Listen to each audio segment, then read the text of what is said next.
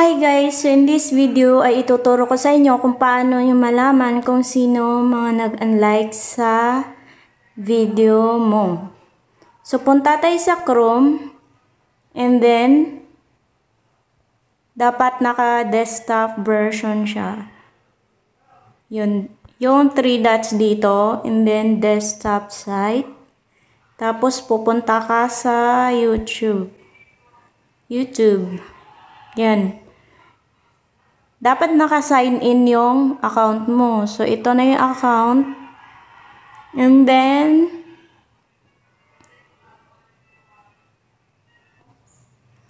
ito yung channel mo, kunwari. Ito yung channel ko. So, makikita dito, may may mga unlikes. Saan? Ito, kunwari. Itong video na to, may More than unlike. 20 million people use Yan. Grammarly every So, day to improve their pupunta writing. tayo ng Grammarly's editor provides YouTube Studio. And then, punta tayo sa Analytics.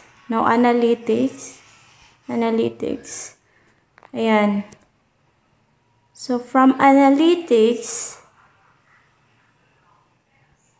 click the see more. So, pagka-click mo nun, dito tayo sa select secondary metric.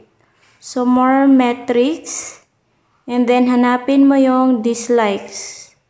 Yan. So, dislikes. Ito, dalawa ang dislikes.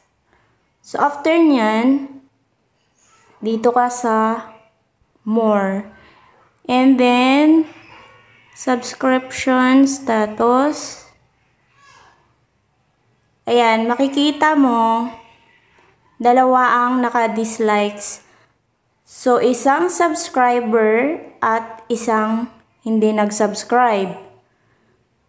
So, pupunta tayo ngayon sa geography. Geography. Ang naka-highlights dito ay tiga United States. So, ang mga nag-dislikes ng video ko ay taga United States. So, i-click na click natin yung United States. Yan. So, nandito daw yung nag-dislikes ng video, ng video ko. So, ito yung taga Georgia. Ayan. So, hindi mo man malalaman kung sino talaga yung kung sino talaga siya, pero may clue ka kung sino yung nag-dislike sa video mo. Kasi alam mo kung taga saan siya. Di ba makikita sa geography. Tsaka kung nakasubscribe ba siya o hindi. So, ayan lang. Thank you for watching and I hope may natutunan ka sa video na to. Don't forget to like and subscribe. Thank you.